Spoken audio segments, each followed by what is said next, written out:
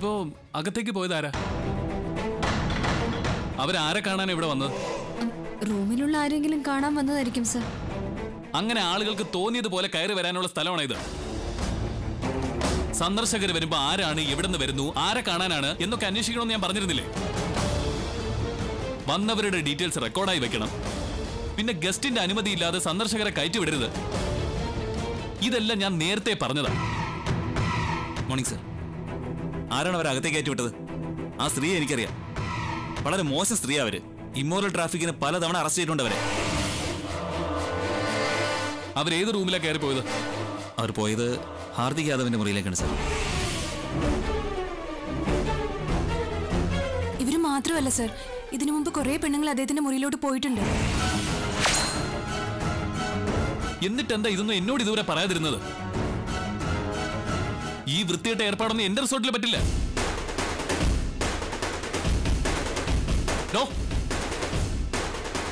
തന്നോട് ആരാ ആ സ്ത്രീയെ കൊണ്ട് ഇവിടെ വരാൻ പറഞ്ഞത്? ഹാർദിക് യാദവാണോ ഇതൊന്നും ഇവിടെ നടക്കില്ല. താൻ അവരെയും കൂട്ടി വേഗം സ്ഥലം വിട്. ഇനി മേലാൽ ഈ പരിസരത്ത് കണ്ടുവരുത് തന്നെയും അവളെയും. അത് പറയാൻ നിങ്ങളാരാ? ഞാൻ അവളെ ഇവിടെ എത്തിച്ചതേ. ഈ റിസോർട്ടിന്റെ ഓണർ സുഭാഷ് സാർ പറഞ്ഞിട്ടാ.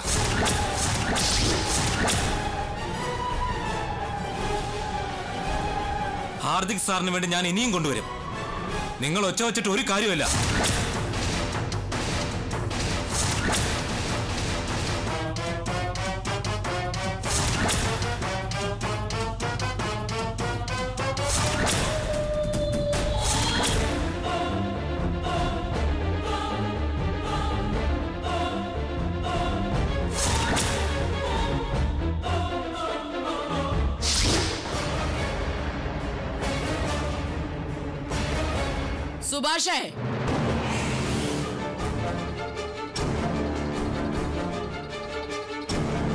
എന്താ നീ സൂരജിന്റെ റിസോർട്ടിൽ ബിസിനസ് പിടിച്ചു കൊടുക്കുന്നൊക്കെ നല്ല കാര്യം തന്നെയാ.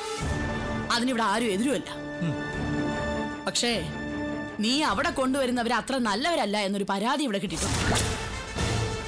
ആരാ അമ്മയോട് ഇത് പറഞ്ഞേ?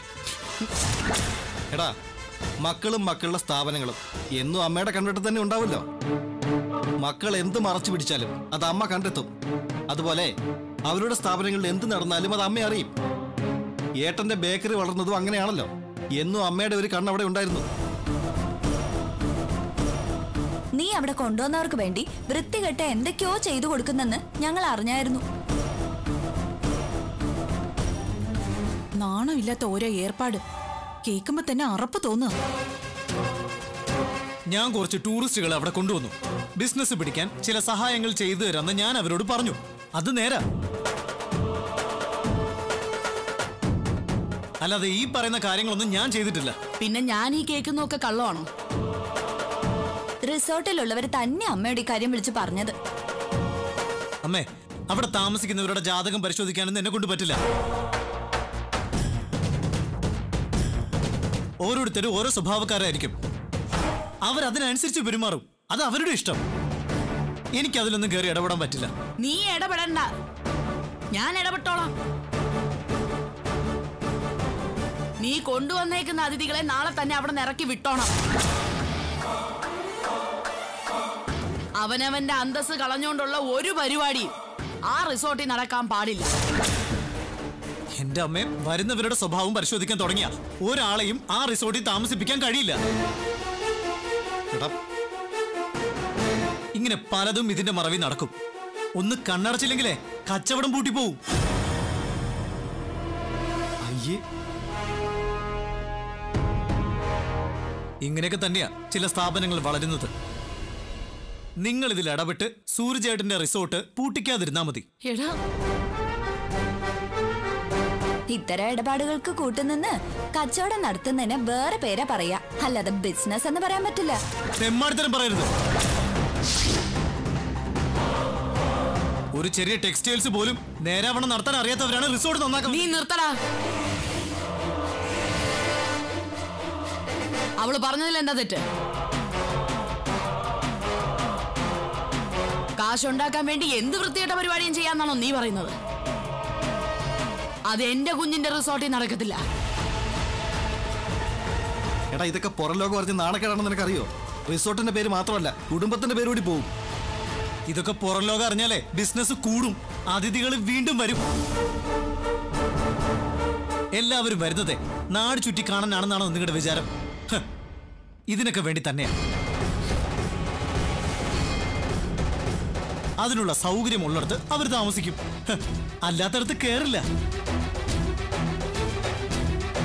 ഇങ്ങനെ അന്തസ്സും അഭിമാനവും പറഞ്ഞ പല റിസോർട്ടും പൂട്ടിപ്പോയ ചരിത്രവും ഉണ്ട്. ആ പാവം കഷ്ടപ്പെട്ടുണ്ടാക്കിയതാ. നിങ്ങളായിട്ടത് പൂട്ടിക്കാതിരുന്നാ മതി. മതി. എനിക്കൊരു വാക്കേ ഉള്ളൂ. ഇത്തരം ഏർപ്പാടുകൾ സൂരജിന്റെ റിസോർട്ടിൽ നടക്കില്ല.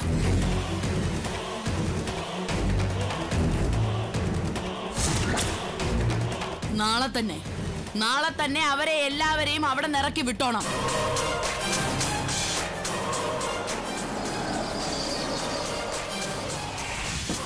ഏട്ടത്തിയാണെന്ന് തോന്നുന്നു.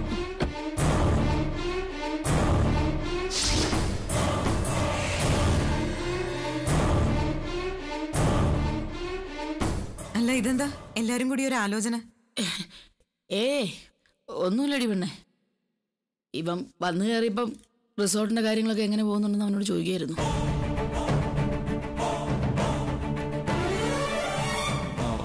ഇവനാണല്ലോ ഇപ്പൊ ഇതിന്റെയൊക്കെ മേൽനോട്ടക്കാരൻ. അതുകൊണ്ട് തന്നെ റിസോർട്ട് നന്നായിട്ട് പോകുന്നുണ്ട് ഏട്ടത്തി.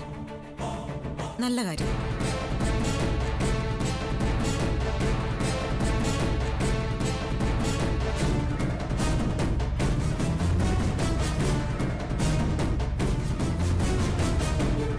ഇവനെ ഇങ്ങനെ വിട്ടാൻ പറ്റില്ല. ഒക്കെ ദീപ്തിയോട് പറഞ്ഞിട്ട് തന്നെ കാര്യം.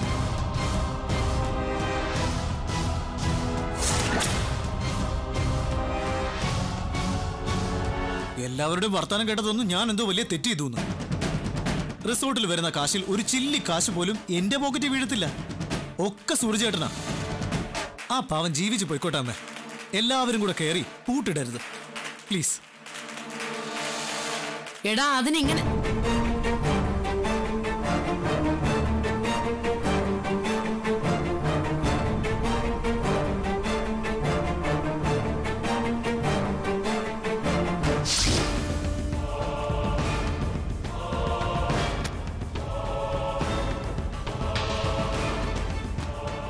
ദീപ്തി?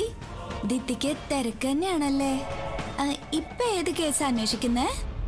കേസും അന്വേഷണവും ഒക്കെ വീട്ടിൽ ചർച്ച ചെയ്യുന്ന പതിവ് എനിക്കില്ലല്ലോ മീനാക്ഷി. അതെനിക്കറിയാം. എന്നാലും ചോദിച്ചു എന്നേ ഉള്ളൂ.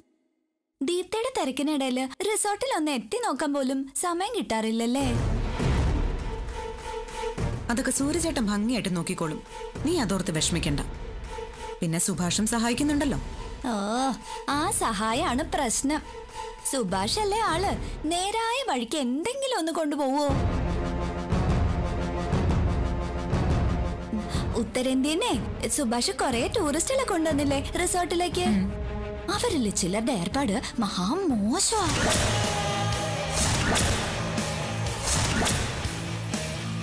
പെണ്ണുങ്ങളെ വരെ അവിടെ കൊണ്ടുവരുന്നുണ്ടെന്നാ പറയുന്നത് ചുരുക്കി പറഞ്ഞ റിസോർട്ടിൽ അനാശാസ്യ പ്രവർത്തനങ്ങൾ നടക്കുന്നുണ്ട്.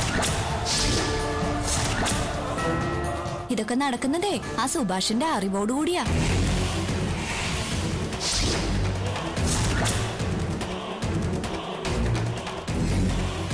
നിന്നോട് ഇതാരാ പറഞ്ഞേ? എന്നോടല്ല അമ്മയോടാ പറഞ്ഞേ. റിസോർട്ടിലെ ഒരു ജീവനക്കാരൻ. ദീപ്തി വരുമ്പോ ഇതാ അമ്മ സുഭാഷിനോട് സംസാരിച്ചോണ്ടിരുന്നെ. ദീപ്തി അറിയിക്കണ്ടെന്ന് കരുതി പറയാത്തതാ. ദീപ്തി ഇത് അറിയണം.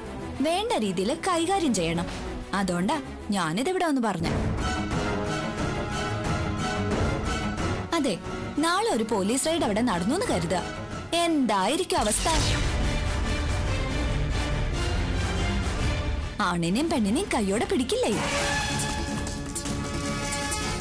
അതോടെ റിസോർട്ടിന്റെ പേരങ്ങ് പോയി കിട്ടും. പത്രത്തിലും ടിവിയിലും ഒക്കെ വാർത്തയും വരും. ഏറ്റവും കൂടുതൽ നാണക്കേട് ആർക്കാ?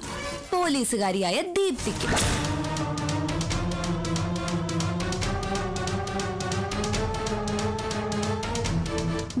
ശത്രുക്കൾ ഇതൊക്കെ അറിഞ്ഞ ദീപ്തിക്കെതിരെയുള്ള ആയുധാക്കില്ലേ അല്ലെങ്കിൽ തന്നെ മിത്രങ്ങളെക്കാൾ കൂടുതൽ ശത്രുക്കളാ ദീപ്തിക്ക്.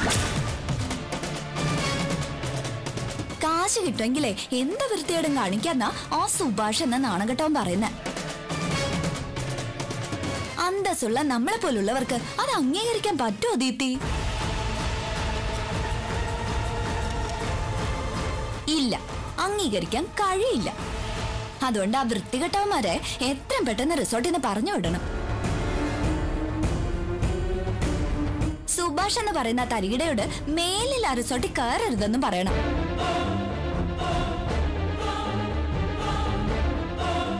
നീ പറയുന്നതിലും കാര്യമുണ്ട്. എന്തായാലും സൂര്യചേട്ടൻ വരട്ടെ. ഞാൻ സൂര്യചേട്ടനുമായിട്ടൊന്ന് സംസാരിക്കുന്നുണ്ട്. വേണ്ട തീരുമാനം എടുക്കാം.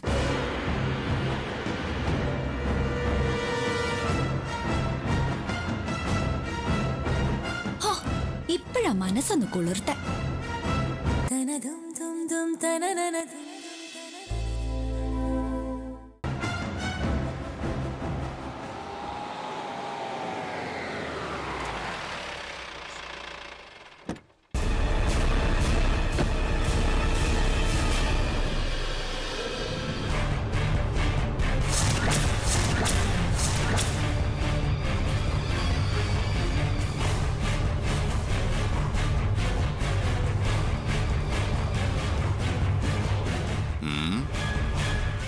ഭാവമാറ്റം. എന്നെ ഒട്ടും പ്രതീക്ഷിച്ചില്ലല്ലേ? അതാണ് ധനപാലൻ. നിങ്ങൾ മനസ്സിൽ കാണുന്നത് ഞാൻ മാനത്ത് കാണും. മികച്ച ഇൻവെസ്റ്റിഗേഷൻ ഓഫീസർക്കുള്ള മെഡൽ രണ്ട് തവണ എനിക്ക് കിട്ടിയിട്ടുണ്ട്. അതെനിക്കറിയില്ല. രണ്ടു മൂന്ന് തവണ സസ്പെൻഷൻ കിട്ടിയിട്ടുള്ള കാര്യം എനിക്കറിയാം. തർക്കത്തിന് പറയുന്നു? സാർ എന്തിനാ ഇപ്പൊ ഇങ്ങോട്ട് വന്നത്?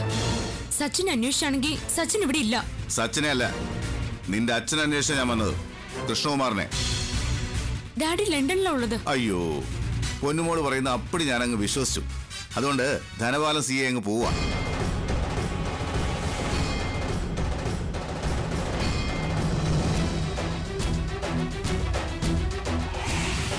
നിന്റെ അച്ഛൻ ലണ്ടനിൽ നിന്ന് ഇവിടെ എത്തിയിട്ടുണ്ടെന്ന് എനിക്കറിയാം. വിളിക്കടിയാളെ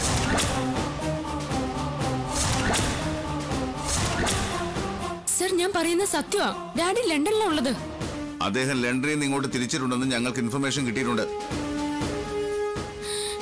ഞാൻ എങ്ങനെ പറഞ്ഞു മനസ്സിലാക്കും? വേണ്ടടി. നീ എന്നെ പറഞ്ഞു മനസ്സിലാക്കണ്ട. ഞാൻ കൈയോടെ പിടിച്ചോളാം. എനിക്കിപ്പോഴും മനസ്സിലാവാത്തത് സാർ എന്തിനാ എന്റെ ഡാഡി അന്വേഷിക്കുന്നേന്നാ? നിന്റെ അച്ഛന്റെ കൂടെ വിനീതയും നാട്ടിലേക്ക് വന്നതായി ഞങ്ങൾക്ക് വിവരം കിട്ടിയിട്ടുണ്ട്. വിനീതയെ എന്തിനാ ഞങ്ങൾക്ക് നിനക്കറിയാലോ? വിനീതയോ? വിനീത് എന്തിന് ഡാഡിയുടെ കൂടെ വരണം? ഇതൊക്കെ ആരും നിങ്ങളോട് കള്ളം പറഞ്ഞതാ. എന്റെ ഡാഡി കേരളത്തിലേക്ക് വന്നിട്ടില്ല. വിനീത കൂടെ വന്നിട്ടുമില്ല. എനിക്കിപ്പോഴും വിശ്വസിക്കാൻ പ്രയാസമുണ്ട്. ഒരു കാര്യം നീ അച്ഛന്റെ ഫോണിലേക്ക് ഒന്ന് കോണ്ടാക്ട് ചെയ്തേ. സത്യം എന്താണെന്ന് അറിയണമല്ലോ.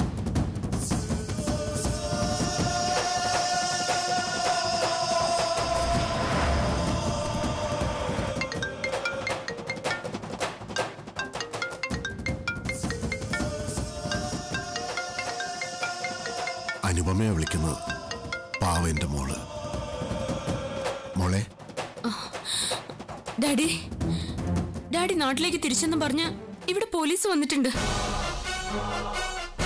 ഡാഡിയുടെ കൂടെ വിനീത എന്നൊരു പെണ്ണും നാട്ടിലേക്ക് വന്നിട്ടുണ്ടെന്ന് ഇവർ പറയുന്നത് നീ എന്റെ ലണ്ടൻ നമ്പറിലല്ലേ വിളിക്കുന്നത്? ഞാൻ ഇവിടെ തന്നെ ഉണ്ടെന്ന് മനസ്സിലായില്ലേ? ഏത് വിനീത? എനിക്ക് അങ്ങനെ ആരെ അറിയ പോലും ഇല്ല. ആ ഫോണിൽ തന്നെ. ഹലോ. ആ ഞാൻ ധനപാലൻ സി എ ലണ്ടനിലെ ഫ്ലാറ്റിൽ നിങ്ങളില്ല എന്നുള്ള വിവരം ഞങ്ങൾക്ക് കിട്ടി. നിങ്ങൾ വിനീതയുമായി കേരളത്തിലേക്ക് വന്നിട്ടുണ്ടെന്നുള്ള ഇൻഫർമേഷനും കിട്ടിയിട്ടുണ്ട്. ഇതെന്റെ ലണ്ടൻ ഫോൺ നമ്പറാ എന്നിട്ട് മനസ്സിലായില്ലേ ഞാൻ ലണ്ടനിലുള്ളതെന്ന് പിന്നെ ലണ്ടനിൽ എനിക്ക് ഒരു ഫ്ലാറ്റല്ല ഉള്ളത്. ഒരിടത്ത് കണ്ടില്ല എന്ന് കരുതി ഞാൻ കേരളത്തിലെത്തി എന്ന് പറയാൻ പറ്റുമോ? ഏത് ഫൂളാ നിങ്ങൾക്ക് ഇൻഫർമേഷൻ തന്നത്? നിങ്ങൾ എന്തിനാ എന്നെ തിരക്കി വരുന്നത്? നിങ്ങൾ പറയുന്ന വിനീത് എന്റെ കൂടെ ഇല്ല. എന്റെ മോളെ വെറുതെ വിടണം. മരുമകൻ വീട്ടിലില്ല. എനിക്കുടനെ നാട്ടിലെത്താൻ പറ്റില്ല. ഇവിടെ ചില പ്രശ്നങ്ങളുണ്ട്. വിനീത് എന്റെ കൂടെ ഇല്ല. സത്യമാ ഞാൻ പറയുന്നത് സർ ഞങ്ങൾ വെറുതെ വിടണം. അപകടം മണക്കുന്നുണ്ടല്ലോ. മിസ്റ്റർ കൃഷ്ണകുമാർ നിങ്ങളൊരു മണ്ടനാണെന്ന് എനിക്ക് പറയേണ്ടി വരും. വിനീത നിങ്ങളുടെ കൂടെ തന്നെ ഉണ്ട്. എന്റെ കൂടെ ഇല്ല. ജെനിഫർ എന്താ? എന്തു പറ്റി? Hello? Hello? Hello mister. Jennifer എന്താ പറ്റിയത്? ജെനിഫർ അയാൾ ഫോൺ കട്ട് ചെയ്തു. ആരൊക്കെയോ എവിടേക്കോ നാടകം കളിക്കുന്നുണ്ട്. എന്റെ മുന്നിൽ ഇതൊക്കെ താൽക്കാലിക വിജയങ്ങളാ. എല്ലാം കഴിഞ്ഞ് ധനപാലിനൊരു വരവ് വരും. അപ്പനെയും മോളെയും പൊക്കിയെടുത്തോണ്ട് പോവുകയും ചെയ്യും.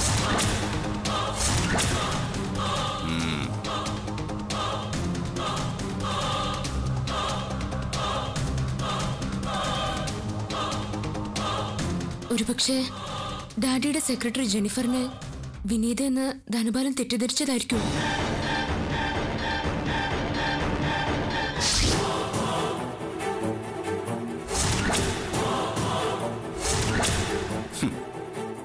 ജെ അവനെ എന്റെ കൈ കിട്ടിയ അടിച്ച് കൊന്നേനെ.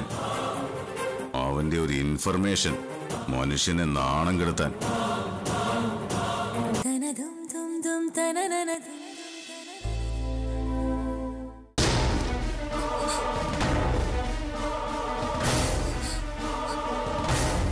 Jennifer Jennifer എഴുന്നേൽക്ക്. എന്താ പറ്റിയത്? എഴുന്നേൽക്ക്.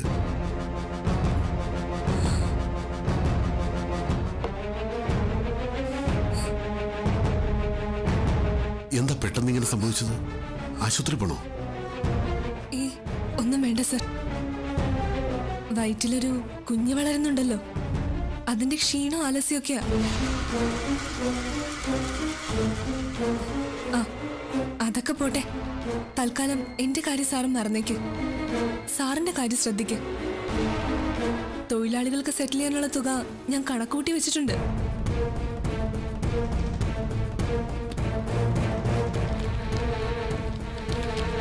ഇതെങ്ങനെ വേഗം സെറ്റിൽ ചെയ്യാൻ പറ്റുന്ന സാർ ആലോചിക്ക്.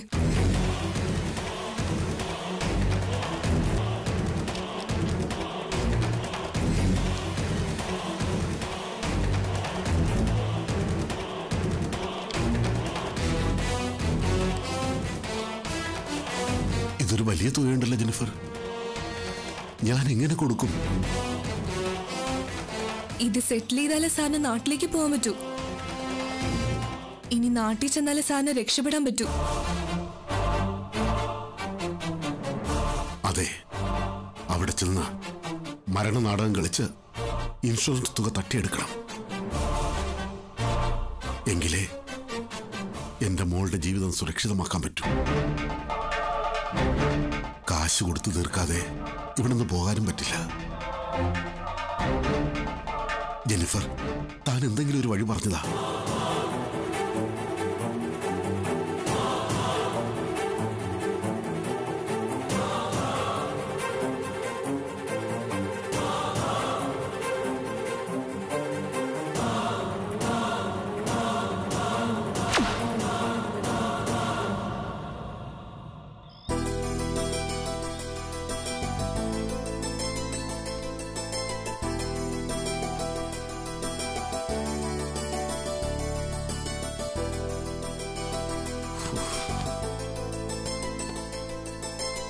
സൂരജേട്ടൻ റിസോർട്ടിന്റെ മുതലാളിയാണോ അതോ തൊഴിലാളിയോ? എന്താടോ? അല്ല ഈ കോലം കണ്ട അവിടുത്തെ ജോലി മുഴുവൻ ചെയ്യുന്നത് സൂരജേട്ടനാന്ന് തോന്നും. ആകെ ക്ഷീണിച്ച് അവശനായി. മുതലാളി എന്നും പറഞ്ഞ് കറങ്ങുന്ന ചെയറിലിരിക്കാനൊന്നും എനിക്ക് പറ്റില്ല. കാര്യങ്ങൾ നോക്കാൻ എക്സ്പീരിയൻസ് ഉള്ള മാനേജർ വെച്ചിട്ടുണ്ട്. എങ്കിലും ഓടി നടന്ന് ജോലി ചെയ്യണം. അതല്ലേ ശീലം. മാനേജറൊക്കെ ഉണ്ട്. അയാൾ എക്സ്പീരിയൻസ് ഉള്ള ആളുമാണ്. എങ്കിലും എല്ലാ കാര്യത്തിലും സൂരജേട്ടന്റെ ഒരു കണ്ണെത്തുന്നുണ്ടല്ലോ അല്ലേ? ഒരു കണ്ണെന്നല്ല രണ്ട് കണ്ണും എത്തുന്നുണ്ട്. ചെറിയൊരു പിശക് മതി. വിയർപ്പൊഴുക്കി കെട്ടിയ ഈ സ്വപ്നം തകർന്നു വീഴാൻ. അത് ഓർമ്മ വേണം. എന്താടോ താൻ അങ്ങനെയൊക്കെ പറയുന്നത് ഒരു പിഴവും അവിടെ ഉണ്ടാവില്ല. തനിക്ക് എന്നെ അറിയാലോ? അറിയാം. എങ്കിലും ഒരു നോട്ടപ്പിശക് ഉണ്ടാവരുതെന്നേ പറഞ്ഞുള്ളൂ. അവിടെ നടക്കുന്ന കാര്യങ്ങളൊക്കെ എങ്ങനെയോ അമ്മയുടെ ചെവിയിലെത്തുന്നുണ്ട്.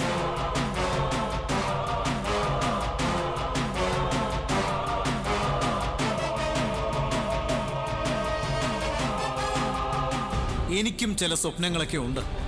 അത് നിറവേറ്റാൻ ഞാൻ എന്തും ചെയ്യും. എങ്ങനെയും ജീവിക്കും. ഞാൻ കാശേപ്പിച്ചത് തന്നെയാ. തിരിച്ചു തരേണ്ടതും താൻ തന്നെയാണ് city police commissioner Deepthi I P എസിന്റെ വീട്ടിൽ. ഇത്തരം വിഷ്വൽസ് ഒക്കെ സൂക്ഷിക്കുന്നത് സുരക്ഷിതമല്ല.